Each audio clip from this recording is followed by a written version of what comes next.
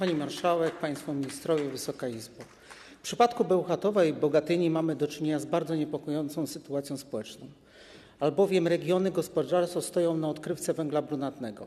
Należy spodziewać się, że Zielony Ład zgodnie z uzasadnionymi obawami będzie doprowadzał do systematycznego wyłączania bloków energetycznych, redukcji wydobycia węgla brunatnego, a co za tym idzie, katastrofalnego w skutkach ograniczenia zatrudnienia w największych zakładach w regionie.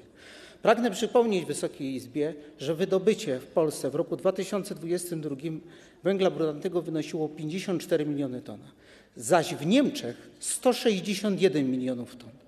Zielony Ład miał być rewolucją społeczną i gospodarczą, a tak naprawdę jest kolejnym przejawem ekoterroryzmu, niestety dotykającym każdego obszaru życia codziennego. W ostatnich dniach obserwujemy niewątpliwie, że polski przemysł, ale również europejski, padł już ofiarą Zielonego Ładu. Największe zakłady przemysłowe sukcesywnie likwidują się albo przenoszą swoją korową działalność na teren Azji i Indochin.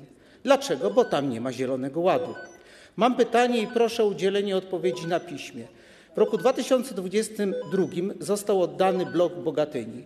Czy zamierzacie Państwo utrzymać produkcję węgla brunatnego z kopalni Bogatyni? Czy zamierzacie dać pieniądze na inwestycje w Bełchatowie Bogatyni, tak żeby bloki, które zostały zmodernizowane, mogły działać dalej? Dziękuję.